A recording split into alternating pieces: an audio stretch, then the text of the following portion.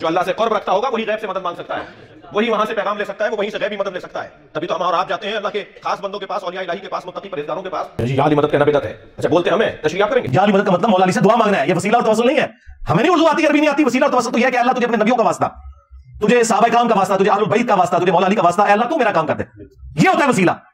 वसीला ये होता है कि मदद आप मेरी मदद करें। ये, ये वसीला तवसल नहीं है ये इस्तानत है। और ये अल्लाह का हक है। कहा कि खोलो नाजुल बलागा में मौला ने जो हसन अली को खत लिखा है अपने बेटे को कहा बेटा तू उसकी औलाद है जिसने अनकरीब मर जाना है। फना हो जाना है उसने। फना के लफ्ज है। हालाँकि अल्लाह की जन्नतों में ज़िंदा है जिसमें मुबारक भी उनका सलामत होगा।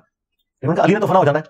और उस एक जात में बाकी रहना है। हसन तुझे जब भी कोई मुसीबत और परेशानी हो अल्लाह ही से मदद मांगना और याद रखना मेरे बेटे हसन अल्लाह का दरबार वो दरगाह है कि उसने अपना कोई दरबार भी मुकर्र नहीं किया कि जिसकी इजाज़त के साथ अंदर आने की ज़रूरत पड़े। और फिर साथ मौला अली ने कहा कि ना उसने इस चीज़ को ज़रूरी ठहराया कि तू किसी का वसीला बीच में डाले, किसी का वास्ता दे अल्लाह को। अल्लाह ने यह भी कोई ज़रूरी नहीं ठहराया। यह भी अल्लाह मौजूद है नाजुल में।